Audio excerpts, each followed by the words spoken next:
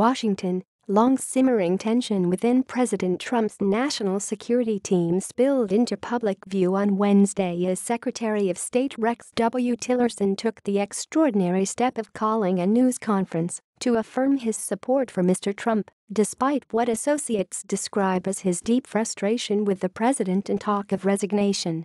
Mr. Tillerson praised Mr. Trump but did not deny a report that he once referred to the president as a moron Mr. Trump welcomed Mr. Tillerson's statement of support and declared total confidence in his Secretary of State.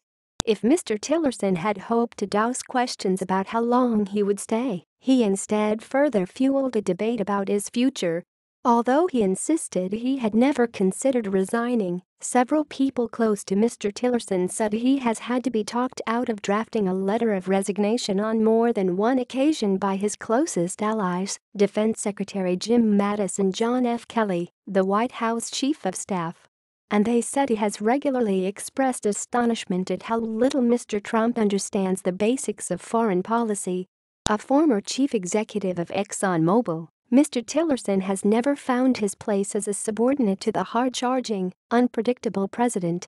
He has bristled at being undercut, as he was over the weekend when Mr. Trump publicly said Mr. Tillerson was wasting his time by trying to open talks with North Korea.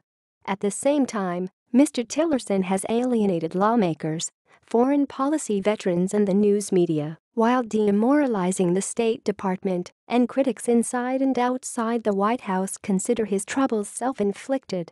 The president initially viewed Mr. Tillerson as a granite job cabinet secretary who fit Mr. Trump's requirement. The top advisors look as if they came out of central casting, as he has put it.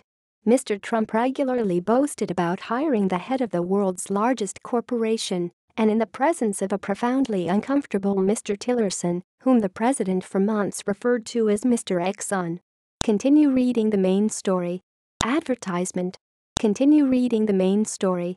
But the deliberate, slow-talking oil executive has little personal chemistry with the quick-talking, impulsive Mr. Trump.